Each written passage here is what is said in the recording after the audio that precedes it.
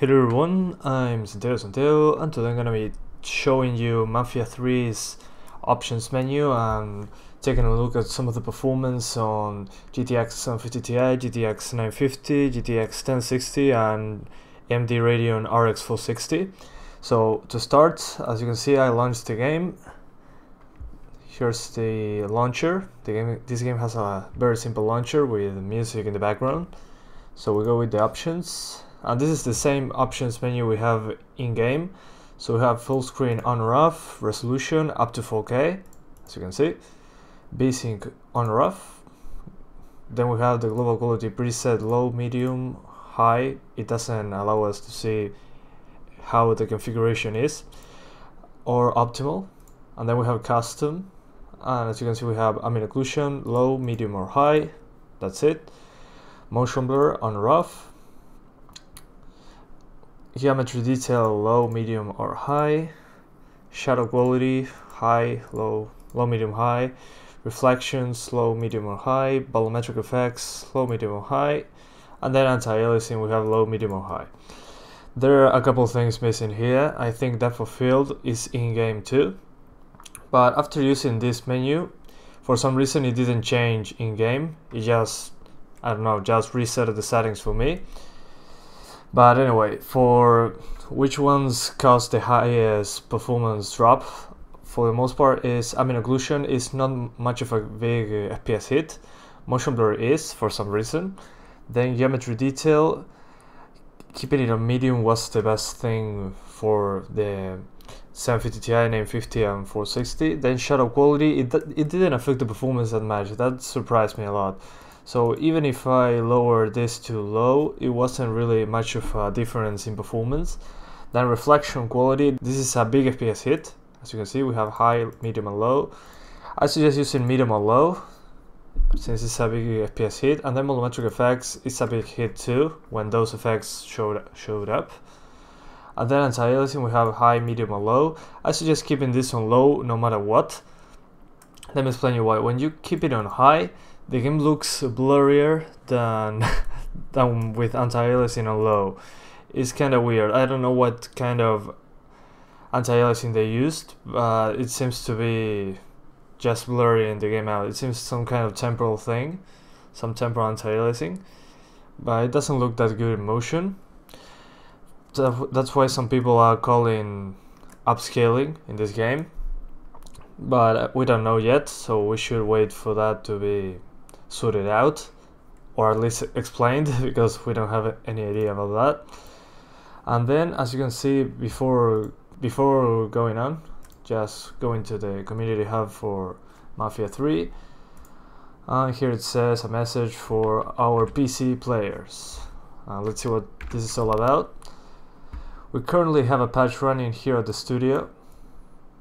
Sorry that includes 30 60 and unlimited frame rate options in the video menu along with other improvements. Among other improvements for the PC version of Mafia 3 we're verifying the patch now to ensure everything is working as expected. If everything goes well we expect the update to go live this weekend. So we are Friday maybe tomorrow or in a couple days. We're going to get a a patch that fixes that for us.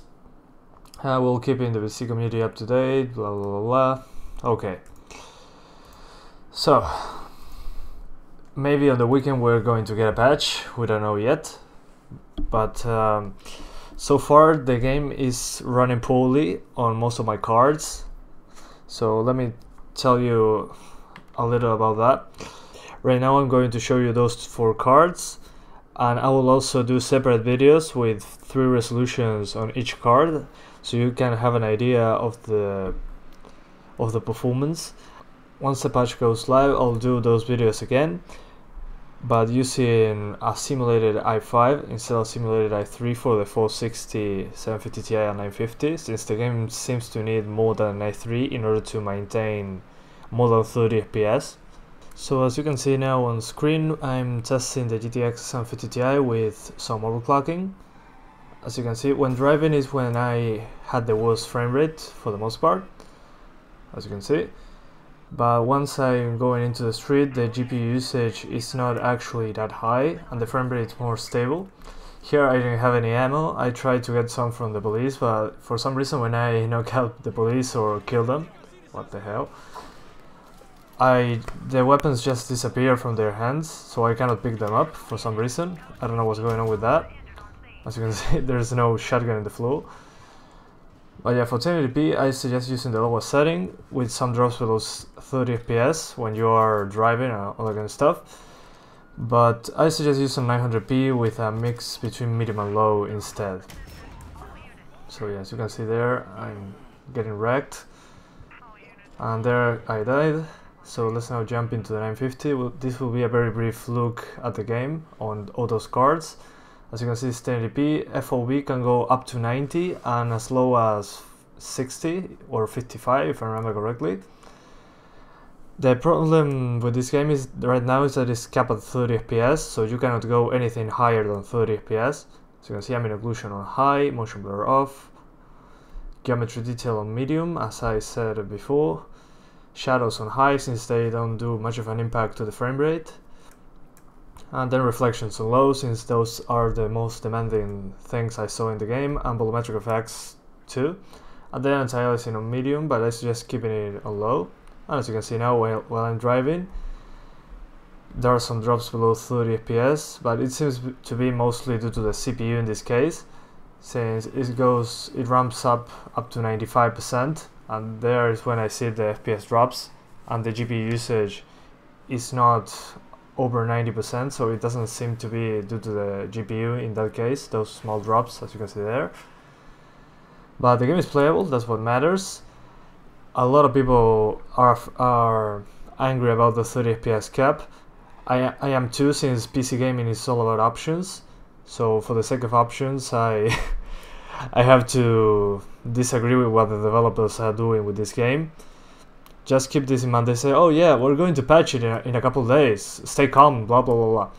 Yeah, they say that, but I mean, why not delay the game a couple extra days instead for the PC version if they only had to uncap the frame rate. And why didn't they tell us at least a month or two in advance? They told us like 12 hours before the game was first released. So PC Gamer or some of the reviewers found out that the, the there was an FPS cap, Everybody just got crazy in the Steam forums and the Steam community, and they said, "Oh yeah, it's just the day one patch. We are fixing it soon.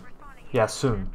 and then they say yeah we're going to fix this for for the for the weekend if everything goes well we already have the patch we have to test it out a little more well that's not how you do things if you ask me that's a very bad move from the publisher and developer because i don't know was it so hard to just delay a couple days in order to get unlock frame rates I mean, you you know that when there are locked frame rates, people won't buy your game, and if they are going to buy it, it will be just like I don't know, at discounted prices or just waiting for patches, which shouldn't be that way. I mean, you give bad reputation to PC gaming. Anyway, now to the 460, as you can see, I'm going to use higher settings. I'm going to use the same settings as the 950 for the most part, 1080p. And depth, uh, depth of field off, then shadows on medium, reflections on low, volumetric effects on low. I had to use a little lower settings, but as you can see here, I'm getting uh, way more drops below 30 FPS. It goes from 20 to 30. That seems to be to the, due to the CPU. The RX 460 uses more CPU than the GTX 950 and GTX 750 Ti. So that's my theory on why the game runs so poorly on the AMD card. But just remember that this game is also pretty much from NVIDIA in some way, since when you launch the game you can see the NVIDIA logo when it starts. So I suspect that that's the game runs better on NVIDIA, plus AMD uses more CPU in order to make everything run, you know, drivers and such. AMD has worse drivers, for saying it some way, and this is not a DirectX 12 title, so it's expected the game to run worse. So I suggest if you have an AMD card to have a better CPU or an i3 6100. This is this should be a little worse than an i3 6100. I'm simulating an i3 in some way. I'm just I just took my took my i7 4790 and entered to the BIOS. Enable two cores only with hyperthreading, hyperthreading, and uh, I disabled Turbo Boost, so it's as close as possible to the i3. I know it's not the same. You don't have to repeat me that in the comment section down below but it's very close. I mean, it's better than i3 4150, but it's worse than i3 6100, so keep that in mind. But as you can see, when we are in close quarters combat or just not driving, you're fine, so it has to be a CPU thing in this case. So I'll test it properly with uh, an i5. But as you can see, we're getting a lot of screen tearing, which is terrible but uh, you can just enable VSync and you'll be fine. Trust me on this one. But yeah, the 460 is still playable, just just about a CPU. Okay, so now we're jumping into the 1060. As you can see, 1080p, depth field on, FOV 75 degrees, full screen, VSync off, ambient occlusion high, motion blur off, geometry on high, everything on high pretty much, but motion blur turned off, and anti-aliasing on medium since the game looks blurrier with anti-aliasing on high. I don't know what's up with that. So let's now start driving. But yeah, I'm using here an i5 simulated in some way. So the i7 I just disabled hyperthreading. So we have four cores and four threads like an i5, but it's not the same. I will say it's closer to an i5 for the 690K. So keep that in mind. But as you can see, it still uses a lot of CPU. Now it just dropped to 60% usage, but the 1060 is just chilling there. We're getting 60% usage for the most part, with pretty much high settings, which is not bad at all. And we're using 2.7 gigabytes of VRAM. So if you have a 3 gig GTX 1060, you should be fine with these settings. If you work like 1060 3 gigabytes, you should be getting this performance that you're seeing right now since the game doesn't use over 3 gigabytes of VRAM.